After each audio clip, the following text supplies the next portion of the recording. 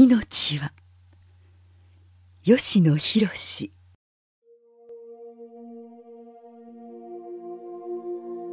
命は自分自身だけでは完結できないように作られているらしい。花もめしべとおしべが揃っているだけでは不十分で。虫や風が訪れてめしべとおしべを仲立ちする。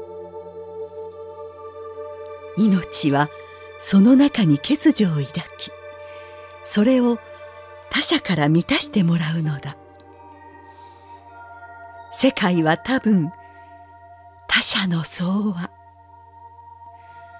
しかし互いに欠如を満たすなどとは知りもせず知らされもせずばらまかれている者同士無関心でいられる間柄。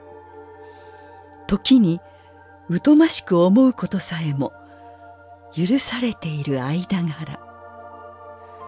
そのように世界が緩やかに構成されているのはなぜ？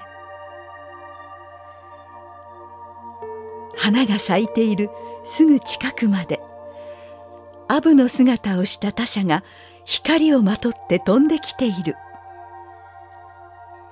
私もある時誰かのためのアブだったろう。あなたもある時私のための風だったかもしれない。